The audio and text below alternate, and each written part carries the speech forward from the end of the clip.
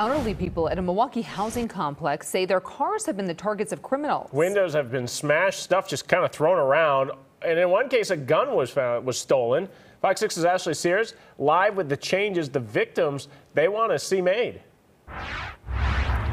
Yeah, Ben, they are fed up that someone keeps coming into this parking lot and breaking into car windows here. Some of the elderly residents have been hit time and time again.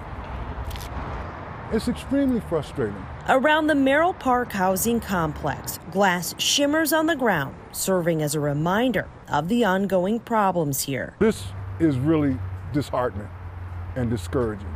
Zachary Johnson knows firsthand his Toyota Corolla. They went through the glove compartment. Has been broken into twice in the last month and a half. That's the window. That's how the window looked from the outside and he's one of the lucky ones. That I have my insurance keep going up. Jesse Thomas has had five car break-ins in the last year. The latest happening last week.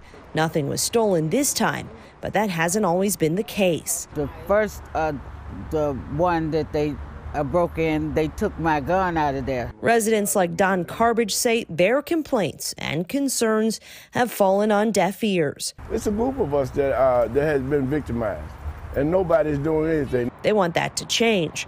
They're asking for more security in a place that houses the elderly and disabled. It makes everyone feel insecure and unsafe because we never know when one of the residents might be out there uh, when the cars are being vandalized. Residents are tired of the crime, ready for a return to peace. We would like to have our, our, our security. We like to be secure. We, uh, uh, we older people, we need to feel secure here. A spokesperson for the Housing Authority says they are aware of the car break ins and are working closely with MPD. They say that public safety teams regularly patrol the lot and there are working lights and surveillance cameras here. Reporting live in Milwaukee, Ashley Sears, Fox 6 News. Hopefully, whoever's responsible is caught soon. All right, Ash, thanks.